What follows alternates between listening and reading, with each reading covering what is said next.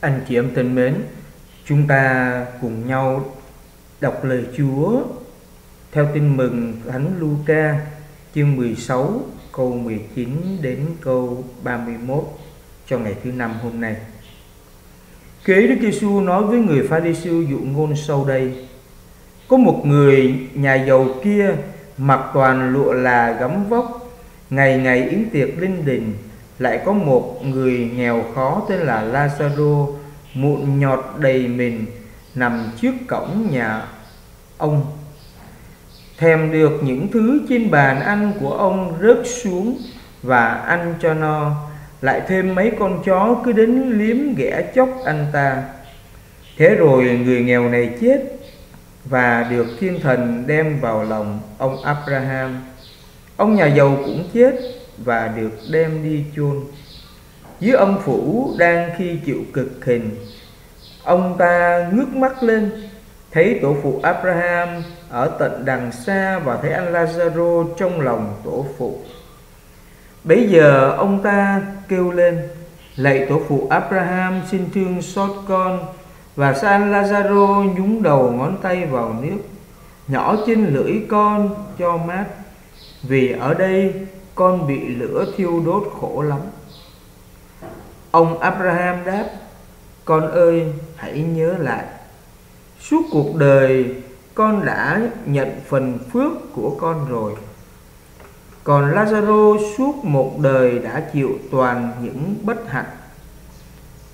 Bây giờ Lazaro mới được an ủi nơi đây, còn con thì phải chịu khốn khổ hơn nữa, giữa chúng ta đây và các con đã có một vực thẳm.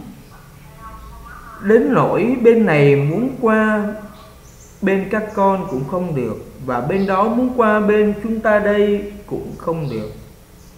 Ông nhà giàu nói, lạy tổ phụ, vậy thì con xin tổ phụ sai anh Lazaro đến nhà cha con, vì hiện con còn năm người anh em nữa xin sai anh đến cảnh cáo họ kéo họ cũng xa vào chốn cực hình này.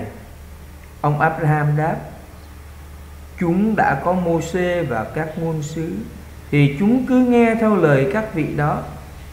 Ông nhà giàu nói, thưa tổ phụ abraham, họ không chịu nghe đâu, nhưng nếu có người từ cõi chết đến với họ, thì họ sẽ ăn năn sám hối ông abraham đáp mô xê và các ngôn sứ mà họ còn chẳng chịu nghe, thì người chết có sống lại, họ cũng chẳng chịu tin. Anh chị em thân mến Dụ ngôn mà Chúa Giêsu vừa kể, Trong một thông điệp mùa chay của Đức Giáo Hoàng Francisco, Ngài có nhắc chúng ta một chi tiết rất quan trọng. Đó là ông nhà giàu, ông phú hộ được gọi một cách chung chung như thế mà không có tên. Còn trong khi đó người nghèo kia là anh Lazaro lại có tên. Như vậy chúng ta mới thấy rằng là trong lòng của Chúa Giêsu người nghèo luôn được ưu tiên luôn được yêu thương một cách đặc biệt. Ở đây không phải là loại trừ người giàu có. Ở đây mời gọi chúng ta thấu cảm tâm tình của Chúa Giêsu là luôn luôn mở ra cho người nghèo, cho người bị thiệt thòi, cho người bị loại trừ. Câu hỏi mà nhiều người đặt ra đó là ông phú hộ kia. Ông ấy đã phạm tội gì mà đáng phải xuống hỏa ngục? Ông ta được kinh thánh mô tả là yến tiệc linh đình, ăn uống thỏa thích. Chứ đâu có kể ông có một tội gì đâu mà ông lại bị phạt xuống hỏa ngục. Đây là một vấn đề mà đôi khi chúng ta cố tình tự đánh lừa mình bằng một câu hỏi bế tắc ở đây tất cả chúng ta đều biết Thiên Chúa mới làm chủ con người và muôn loài muôn vật, tức là chủ của cả của cải. Còn con người của chúng ta chỉ là những quản gia của Chúa, là những người quản lý của Chúa. Ông nhà giàu, ông có nhiều của cải, tức là ông được Chúa tin tưởng và trao cho nhiều ân huệ để ông quản lý cho Chúa, để phục vụ cho cộng đoàn. Nhưng ông ta đã vờ đi một người anh em nghèo kiết xác, một người anh em ở cái hạng ăn mày ghẻ lỡ. Chỉ có mỗi con chó của ông là đến với anh Lazaro nghèo khổ, nhưng cũng đến để trục lợi, tức là liếm ghẻ của anh Lazaro, chứ không phải để mang thức ăn hay là để làm một chút niềm vui cho anh.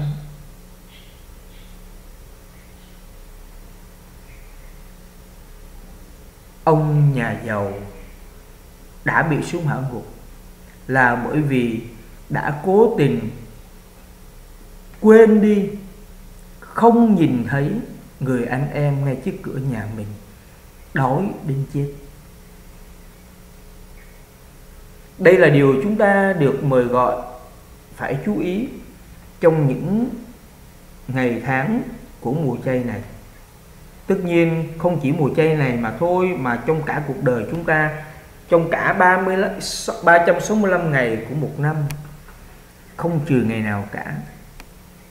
Nhưng đặc biệt trong mùa chay này chúng ta chú ý, liệu chúng ta có đang làm cho ai đó trở nên nghèo hơn không? Liệu những người nghèo xung quanh chúng ta chúng ta có chia sẻ với họ một chút nào không?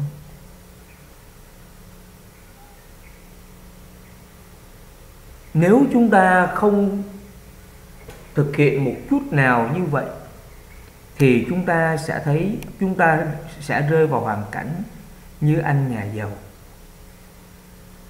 Kinh thánh bảo rằng, anh nhà giàu chết thì người ta mang đi chôn, như thể đi vào trong một tình trạng tối tâm ngay lập tức. Còn Lazaro chết thì kinh thánh bảo, các thiên thần đón ông vào lòng tổ phụ Abraham một sự sống, nối tiếp một sự sống xuất hiện ngay. Hãy sống như những người quản lý tốt của thiên chúa. Tức là biết chia sẻ cho anh chị em xung quanh mình.